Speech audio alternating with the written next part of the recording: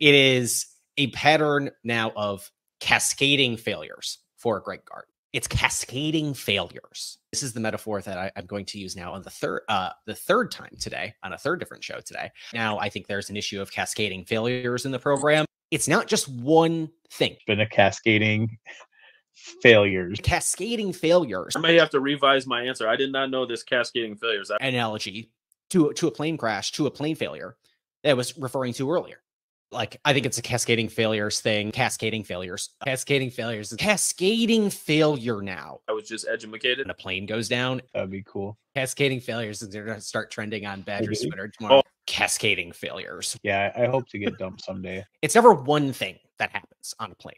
It is cascading failures. Wait till like week seven of football season. Ryan's gonna be like, you know, the cascading failures. Ah. Good morning, and thank you for enjoying it with a six pack. The Sconnie Six Pack, the only podcast talking all things Wisconsin sports with you six days a week. Uh, thank you, as always, to the guys over at Badger Notes After Dark and Ryan Herrings with Locked On Badgers. We'll link their work in the podcast description, of course, uh, for letting me take a couple of clips there that uh, you heard. As I described the loss of Chucky Hepburn and the state of the Wisconsin basketball program and how I am currently thinking about the job security of one Greg Gard as an issue of cascading failures. Um, I have a feeling that that term might get brought up in in that con- in our conversation today that I am having with another guy from the Badger Notes Network, uh, Ryan Eilers does a great job covering Wisconsin football. Uh, he is in in-person correspondent these days for Wisconsin football spring practices. He also covers the wrestling program, unlike maybe anybody else in the state. Um, he really has his finger on the pulse of that program. it, it is it is quite impressive. Um, so Ryan and I are going to be talking about the state, not necessarily of the Wisconsin basketball program, not the Wisconsin football program, but college athletics as a whole, because Ryan has a perspective on this that I have come to appreciate more and more over the last few months, and one that I think Wisconsin Badgers fans are going to find very profound following the loss of Chucky Hepburn to the transfer portal. If you want to hear more talk about Wisconsin basketball, about the Wisconsin uh, basketball program, portal, Look, I have new pieces up at Badger Notes right now. Connor Essegian made a commitment to an in in conference rival. Uh, you can find that piece up at Badger Notes that is linked in the podcast description. Uh, also, of course, you can go back to the last episode of this podcast. You can also go find the Badger Notes After Dark podcast and Locked On Badgers, where I've done some talking in the last week. Uh, but for now, we're going to bring in Ryan Eilers to the show, and we will have an excellent conversation about NIL, the transfer portal, tampering uh, all over the place. Uh, so Ryan Eilers coming up next. And now we have Ryan Eilers joining the show of Badger Notes fame, of Badger Notes After Dark. Ryan, thanks so much for joining the show. Feels feels good to talk to you. It feels like we've been doing a lot of talking these last few days. Yeah, for sure. I always love catching up with you. It seems like a lot of things we're always kind of on opposite ends, and I feel like uh, you make me smarter and bring me back towards the middle a little bit on a lot of things. I think.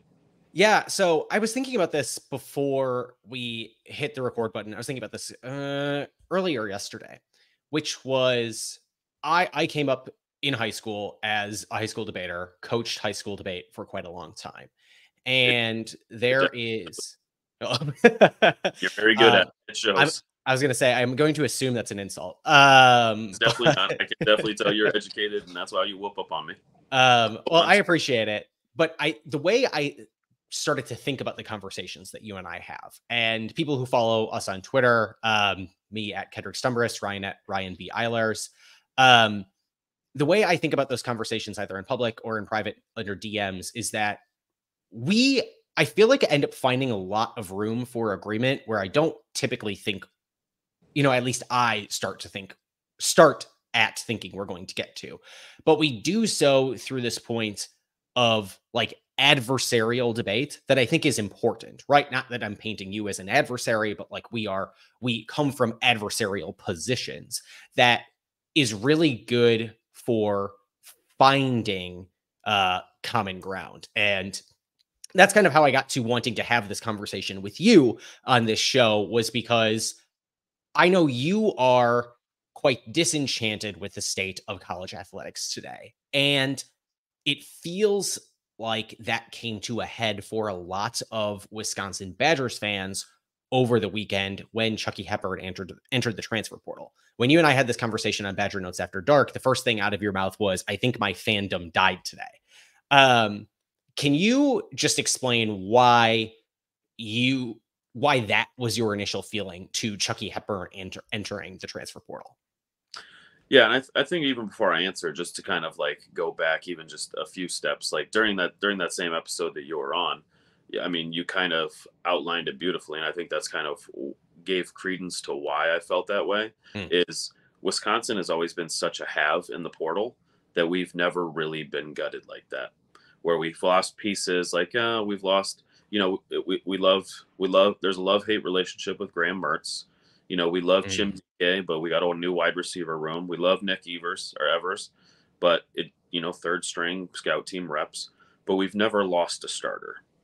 And then when you see AJ leave, like we we can go back and forth on like we kind of knew he was going to be gone seven schools in yeah. seven years, whatever rhetoric you want to go through. But I think I really like Chucky, and when I see that, and I'll preface with like one million percent go get your money, but I think it took on such a professional league style level, or that's how it hit me. It's like I'm an Arizona Cardinals fan, Arizona sports fan.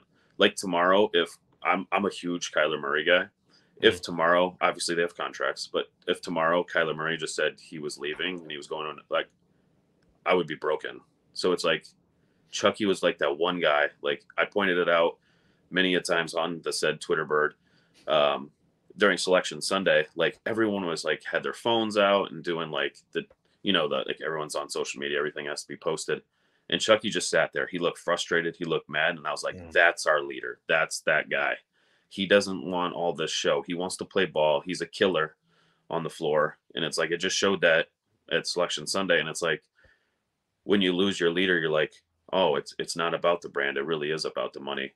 And like I said, I, I don't fault him for it, but it was like it was that reality check in my brain where I know it's not amateur. I know they should be paid. They should have been paid for decades, so we wouldn't mm-hmm. be at this point. But it was like, oh, it, it's not about Wisconsin anymore. It's about the money, and it just it like like broke my spirit internally.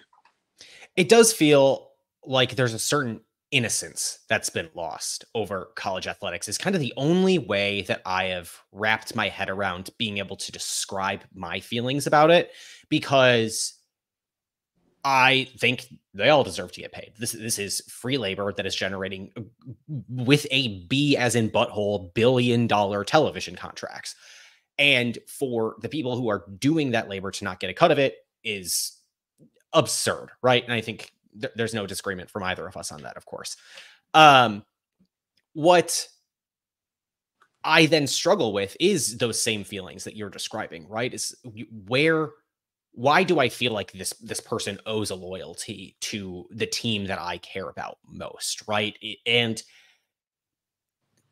it is because th- there has been some semblance of an innocence over over college sports that we are now finally having to grapple with. We, I always talk about the fact that you know the shoes ran the sport for however long they did. Right?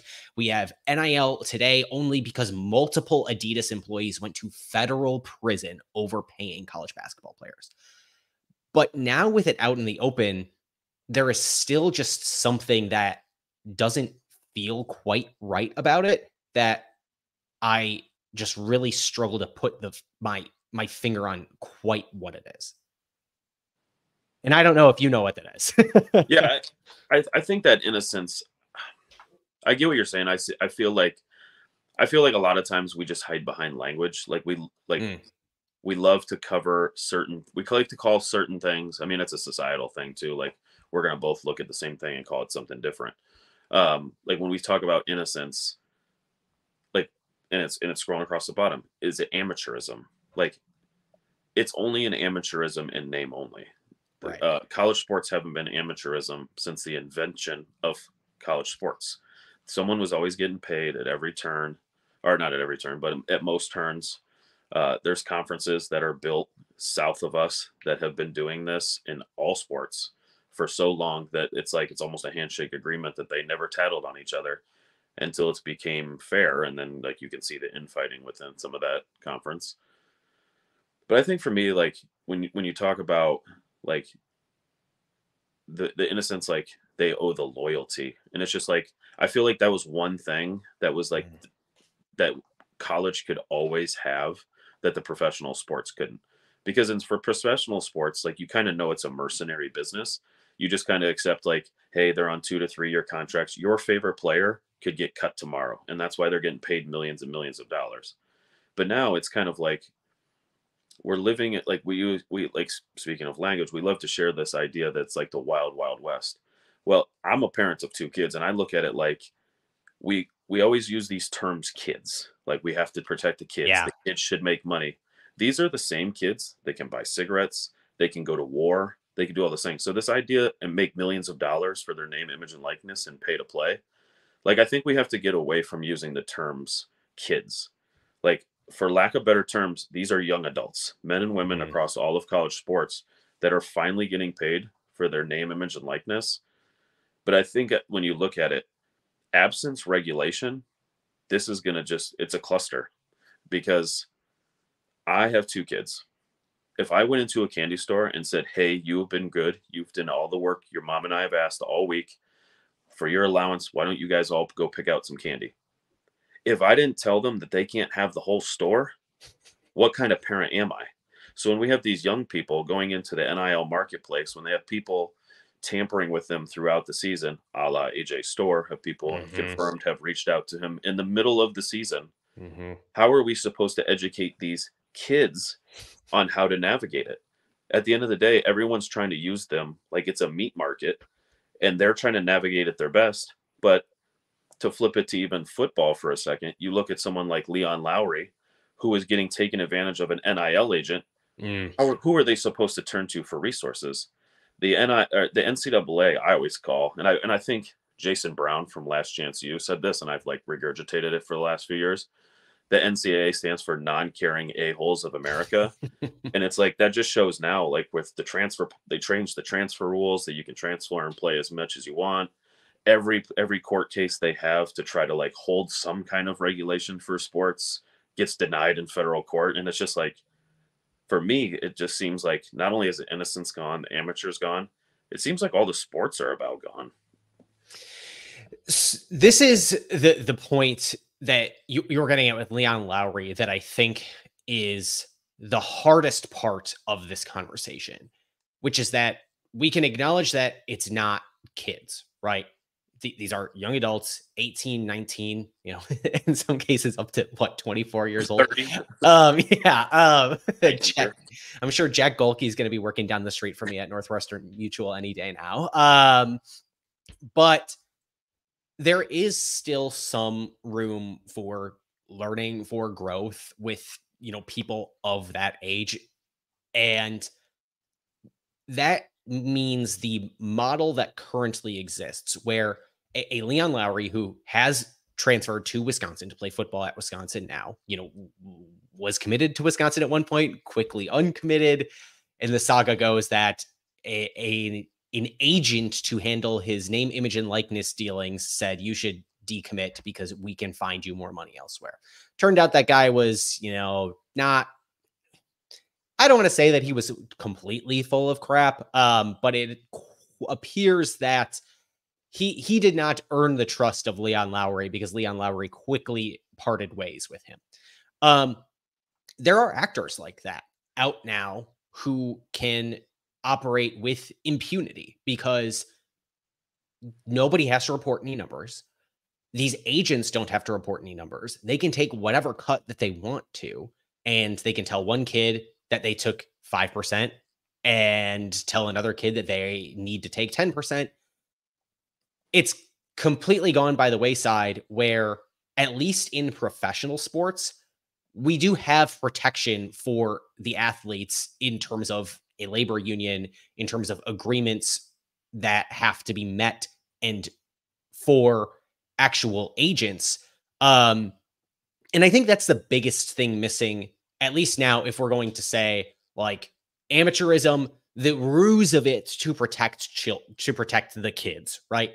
That's gone and deserves to be gone. But there is room to actually protect these student athletes now that under the current model simply isn't there.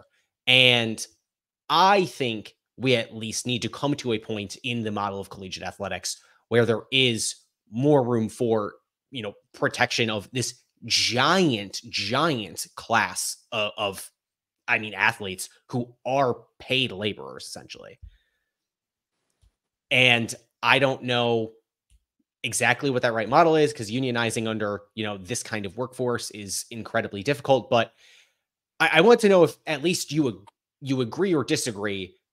Is there some role for, if not the NCAA, at least for some organization to do something more to protect athletes in college now? I mean, if someone has a conscience, I would imagine that there needs Mm. some be something. Um, yeah, I mean, there, there's got to be some kind of regulatory body. Like we have it at every at every level. Um, whether it's as effective as as, as a peer, that mean remains to be seen. Because the NFL, you have, like you said, the NFL, the NFLPA, they vet all their agents. Like you, you could not pass a check, and your agent's not allowed to do business Mm-hmm. um, with the NFL. I think the thing, and, and, and I don't want to segue away from this topic because I like it, but I think getting back to like more of the, the amateurism thing, and I think like the regulatory body, where I feel that my college fandom died, and, and, I, and I still, I'm always going to root for the Badgers. So you got to take me like a, a big old hot bag. Yeah, there's a part of this where it's like, oh, I hate this. I don't know if I can watch college basketball anymore. And then on the, Yeah. you know, first first first there. Monday night, first Monday night in April, you know what I'm going to be doing? I'm going to be watching the national title game every year. Absolutely. I'm going to be in my medium shirt that doesn't fit. So ready to root on the boys or girls, depending on which team I'm watching. But Yeah. I think the thing that, that terrifies me about the whole thing is like you look at the NFL and you outline nicely, like they have contracts, they have regulatory bodies, they have collective bargaining. You're even seeing it at the high school level now, where like Mm. WIA is the Wisconsin Inter Intercollegiate or Inter Athletic Association, basically the regulatory body for Wisconsin athletes, is holding a they either held a vote or holding a vote to give NIL to high schoolers and they would follow suit, I believe, with Florida and Texas and Ohio and other states to allow this. So I start to look at it like on, on, a ticker on the bottom it says, "Is college amateurism, amateurism dead?" I think you could ask the question: Is all of amateurism dead? Because at some level, we used to. I personally, I guess I'll just speak for myself because it's just my opinion, my opinion only, not supported by Kedrick or any of his affiliates. But at, at some level, I, and, and you know, I've had, you and I have had conversations offline talking about you love AAA and I love AAA too, and like Double A and all these different like farm systems. Like we love, Mhm. we love the construct of sports, baseball, right? AAA baseball, minor league Ex- baseball. hundred percent. Yeah. But I think all sports are going to be moving into that model because at the end of the day, if your high school players are getting paid, your college players are getting paid, and your NFL or your pro sports teams, pro sports teams are getting paid, at some level, you college is AAA, your high school is your double A, your uh, AAU teams or whatever is essentially your single because they're paying for players too. They Yeah. always have. Yep. Like that's kind of your single A, and you kind of filter your way up. The the best ones move on to the next professional league, and I feel like that that that's fine. And I think it's it's it the players should be paid. If someone is going to, I've always looked at it like because I because I did struggle with this for a long time because I'm always I've I've been that person. I'm 37. I've been that person that like had like the 97 year old old man views where it's like you get a scholarship that should be enough. but then like you hear people t- and I and I have uh, some really good friends that played for the Badgers and played in the NFL that I've talked to about this like over beers where they kind of let it fly and it's just like you only got twelve hundred dollars stipend. Like and Mhm. and to, to someone listening to this that might sound awesome a twelve hundred dollar a month. It's like but you're bringing in millions of dollars for the Well, university. the problem I've always had with like the you get a scholarship conversation too is it's like, okay, there are plenty of other people who also get scholarships. You know what they don't have to do? Commit 40 plus hours a, a week of their life to play football, to play a, a, a, a sport that guarantees you're going to get head, head injuries. And whether it's football, whether it's volleyball, whether it's hockey, like these athletes have to put in tremendous amount of hours into that on top of school, right? And you know, there's the severing school conversation that I think we should work our way around to eventually. But I think you're you're working yourself into into another good point there, which is talking about how we can think about the the big four sports leagues, the NFL, NBA, NHL, MLB as you know prime sports. Also, then collegiate sports are something like AAA, all the way down to AAU being something like single A, whatever we look at it as. And the point you're getting at there is that college sports really aren't all that different from professional sports anymore. Um, I think you're even seeing this in the eyes of some writers in the Badgers beat who have very slowly come to this realization. I think um, some more more slowly than others ha- have lately been like this this whole transfer portal saga this year has finally taught me that you know nothing's off the table. This is all pro sports now. People interesting people who I think are smart who are coming to this realization I think slow more slowly than I would have expected them to. Um but it makes me ask the question then, right? If this isn't different than professional sports, like, does it have to be? Like, why why should it be? Is it important for it to be, Ryan? Is it important and not even necessarily from a philosophical standpoint? I take it from a your fandom standpoint. Does it matter for you for college sports to be something different than the pros?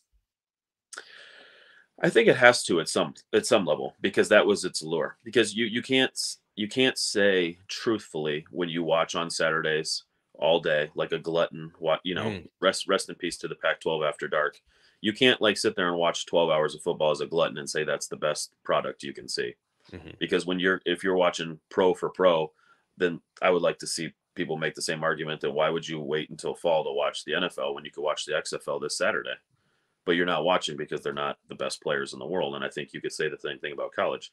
Now, if you look at the Big Ten and the SEC, like a lot of those are going to eventually make it to the men's league. And like you're going to see a lot of them, but a lot of them you're not.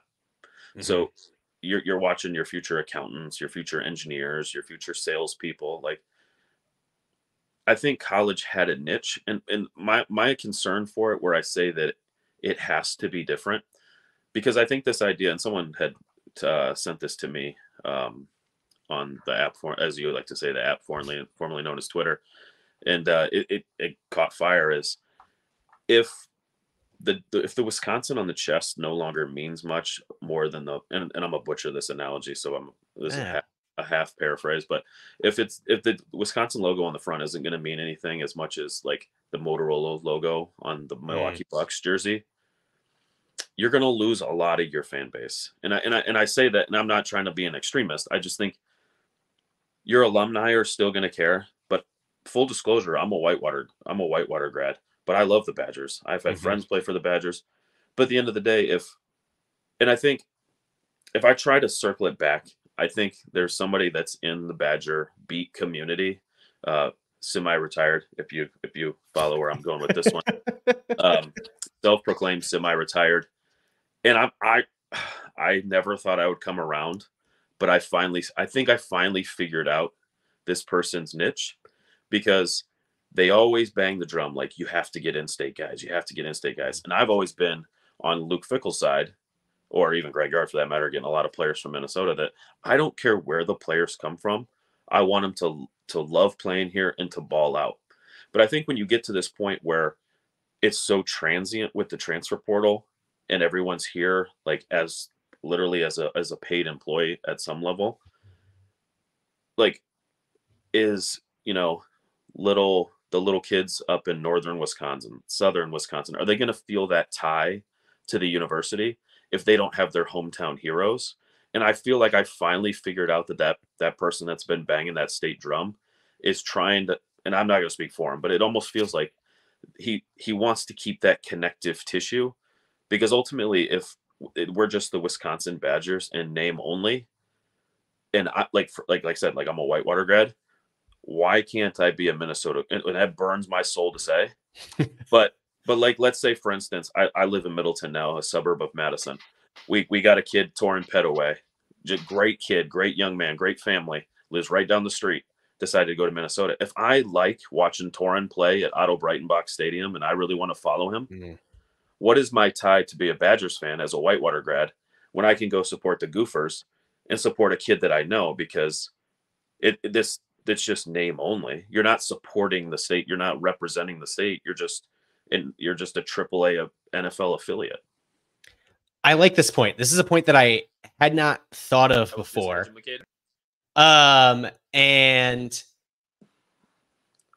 the the idea of in-state recruiting being really important to generate fandom um for because not everybody Fan- can go to Wisconsin. Like Right. An alumni, so you have Right. have a connective somewhere. Yeah, I I hadn't thought of this before, and I almost wonder, but like you say, you're a Whitewater grad. I almost wonder if it comes from like my own place of being an alumnus of the university, right? Where I hadn't even totally thought about the the other value in even even though that's how I grew up, right? I didn't grow up an alum of the university. I didn't neither of my parents went to the university. Nobody in my family went to the university. But I grew up as a fan because it's the state school. And that those other recruiting ties being important into saying like hey it's a big deal when the university of wisconsin comes to recruit a kid on on your high school campus um and that being able to generate fans that are outside of just that kid's family. It's fans within that kid's high school graduation class. It's that kid's siblings and, and their friends. Um i think that's a really intriguing point and an important point where I cared a lot more about college athletics after I got to the University of, of Wisconsin. Before I actually enrolled, I was way more of a professional sports fan than a college sports fan. And I think today that has genuinely flipped. Um, where like now when I watch the NFL, like I watch the Packers I don't really watch a ton outside of the NFC North. Um, when it comes to college football, I'll watch basically anything I want. Now, uh, I will say that the recent C- uh, college football playoff snub of Florida State may have uh, eh, rubbed me the wrong way a little bit on, college football. Yeah, uh, this conversation is all about money anyway. But that that tie, that tie, whether it be your local community or you as an alumnus, is important in some way where if we get to the point where these athletes aren't students necessarily uh, maybe there's a track where these athletes are students and they get their scholarship and that's it. Or there's a track where they are not students but can make money anywhere anywhere else. Um what will that do for your interest in watching the sport if we get to a model in which the the universities and their athletic departments are used you know primarily for licensing deals rather than having the athletes truly be affiliated with the universities Well, I think that would actually be the final nail in the coffin Mm. uh, for for the sport in general. Not necessarily for my fandom because I feel like mine's kind of on the rocks as it is. Um, because I th- I think like I, I'm always someone that had like can never just settle with surface area things. So my brain is one that like I'm gonna keep exploring how bad something can get. I like to call it deliberate planning. So it's like I'm prepared for every situation. So like in that model right there, I would pose your question back to you. So if we go back and we have and like if they're just scholarships, that first of all, that's never going to happen. Like that's a great idea, but then like at some level, there we're going to have to have a, a legitimate minor league, and Yeah. then like FCS is that that model that you're talking about, or D two or D Mm, I think the thing is if you if they don't have to be a student anymore, what is and this is a rhetorical question. So no fair But if they don't have to be a student anymore, what is the one thing that doesn't matter anymore? Eligibility. So if you don't have eligibility, why can't a 30 year old play? You know what I mean? And then at, at that level, if you have, let's say, for instance, you know, you try, because at some level, you're not going to have to worry about a draft. Like we could literally have Jack Coan back two years from now slinging the pill for the boys. And it's like, well, why doesn't he? Quintez Cephas, you know, made some bad decisions with uh, some gambling uh, for the. Why can't we get the the band back together? Why can't we, you know, get Taiwan Deal? You know, he, he I've seen him on Instagram recently. Still in great shape. Uh, if you've seen Bryson Williams, former defensive tackle from Nebraska, he looks like Mr. Olympus. get him back on the defensive line. You got Jack Coan and Quintez Cephas out there. Let's get the band back together. Because if you don't have eligibility, then you're literally, and I and this is the same phrase I say all the time. So forgive me if you've if you're tired of hearing it, but if you get to that model, you literally are just the XFL with a student section and bands. Is that bands with a Z or bands with a trombone? Um. with, an, with like you know your normal bands.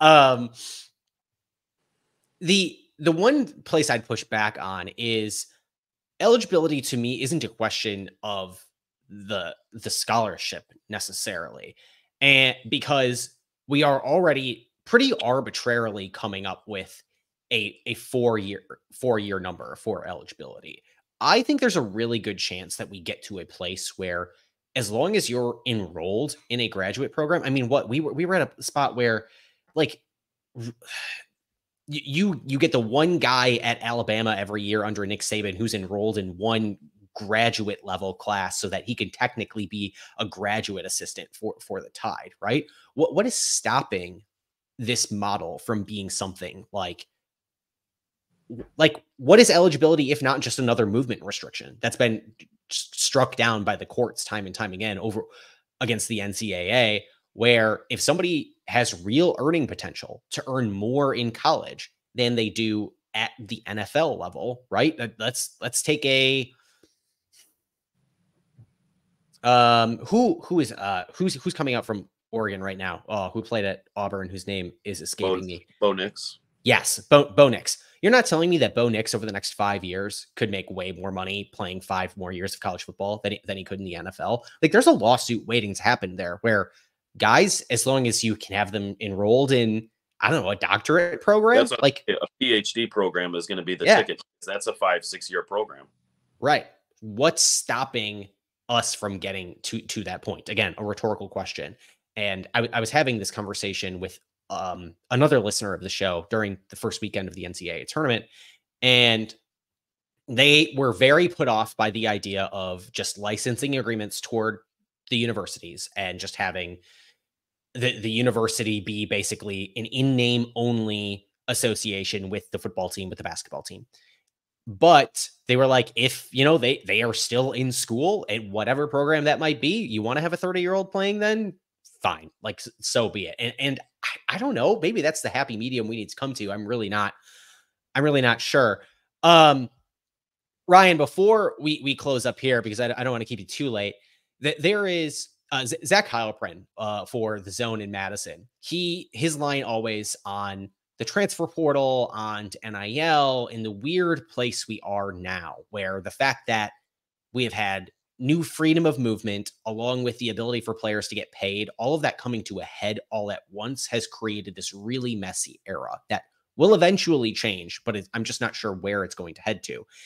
Zach Heilprin's line is always like, I don't care where this ends up just get me to the end of it get me to whatever the model is that we need to get to and then we'll figure it out from that point are you do you think about this in a similar vein or is that and, and i take it that your answer to this is yes or is what the end result is to all of this really important to you and if so do you have any particular desired end result in mind I don't I don't know that my end result is ever going to come true, and I it- because essentially you can't put anything back in Pandora's box. yeah Um, but no, I, I agree with Zach. Like, just get me to the end. I think the I think the six what is it the six hundred pound gorilla that no one wants to talk about is behind every monetary decision and uh, financial choice within you know the transfer portal all of this i think the thing that a lot of people might not be talking about and you know i'm just i'm literally three screws from being crazy myself so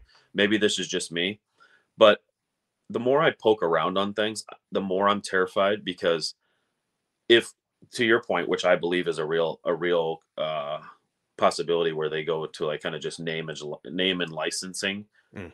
what is going to stop private equity from getting involved Yeah, I think that's the big that that is you, you are right that that is the big 600 pound gorilla and that might even be putting putting it lightly in here and, and private equity is already poking around at the Florida State athletic department I, they, they are inviting private equity in there which is I mean the like leopards eating my eating your own face of all leopards eating your own faces.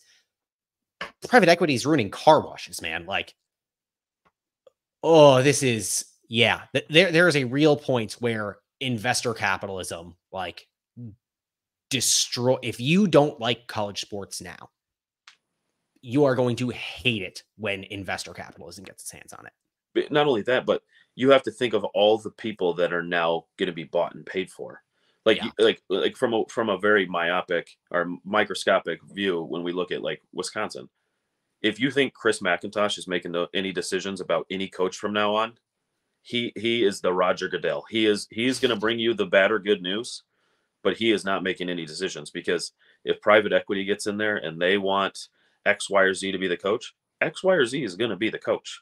Quali- qualifications be damned. Because how are you going to tell them no when they can literally pull your entire financial yeah. portfolio away? Well, and that's where you get into the like similar conversations about meddling NFL owners, NBA owners, things like that, right? Where it, you have it, a lot of David Teppers out there. Yeah, um, and part of why, you know, I, I think Packers fans in particular are so proud to say, like, we don't have we don't have a bungling owner to, to mess with that. And maybe that is maybe, maybe that is the kind of innocence that we we have all really enjoyed about collegiate athletics is that there there for so long have not been these shadowy figures, at least operating where we can see them, um, taking taking big swipes at something that we've enjoyed for so long where we we know that they at least meddle in some of these other pro sports teams. Um i, I want to finish by circling back around to the chucky hepburn conversation for just a second and, and talk about wisconsin in the world of it being a, a have and have not because for for so long i think we've been able to avoid this conversation as badgers fans not that wisconsin fans haven't had a, a conversation similar to this. We've all, you know, murmured about about how we don't love NIL and the transfer portal, things like that. Um, but it has really come to a head here because Wisconsin has kept everybody that they've ever wanted in the portal, basically until now. And now that that has changed, I think we're entering a very different era of talking about the portal um, as Wisconsin fans, at least. You know, so does something where, you know, last two football off seasons have been really fun. A lot of part in that due to the transfer portal.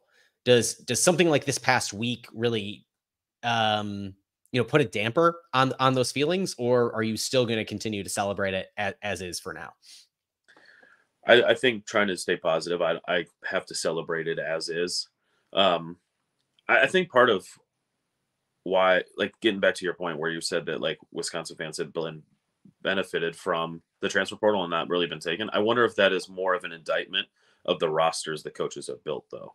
Mm. Because Chucky, I mean, we know for the last few years have been getting offers to leave and he's been by mm-hmm. far one of our best players. AJ, no one can doubt he's one of the like was getting tampered with in the middle of the season. I, I find that to be more of an indictment on on both you know my beloved Paul Chryst and you know I've I've had a tough time with Greg Gard. Uh, never called for his job, but I always question what success looks like. But he even like no coach is going to be successful if all your best players can leave. Like you, it's impossible to the idea of to think of recruiting for your future team and recruiting your current team, and then trying to obtain high end talent unless you just have a Brinks truck behind you. Yeah. So I think I, I got to celebrate the wins because I know I'm going to be sad about the losses. So I think that's part of it is like, if we do start getting guys in here, like I, I'm nervous. Like we have already seen Nick Evers transfer for football, but as Fickell begins to grow that program, and as you know, Gard gets Daniel Freitag in here, which gets you someone who loves Coach Gard the way Daniel Freitag loves him because that is some the most pure and innocent love I, from one man to another, and it's just it's wonderful. But if he's on all Big Ten NBA or all Big Ten team, you know he's you know twelve points, five assists a game. It, I I imagine he wants to stay at Wisconsin, but are you going to want to like hold your breath for two portal and two portal cycles a year for the next four years? Like it's it's terrifying. It is. Um, I, I hope we get to a place where we have contracts, something that looks like more stability than we have now. Because I think if it's not innocence, if it's not uh, a fear of private equity, it's at least stability that I think we are all missing in college athletics today. And I think your your line about you know celebrate the wins as you get them because the losses are going to hurt is just tells me this is just the same as it is for the rest of the way we cheer about everything else in sports basically um so ryan i want to thank you very much for for jumping on the show uh do you have anything you, you would like to tell people to go ahead and follow uh because as i said at the top of the show before you got on here one of the things I admire about the work you do is the work that you do for uh, covering the wrestling program. One of the unsung heroes of the Wisconsin athletic department for sure.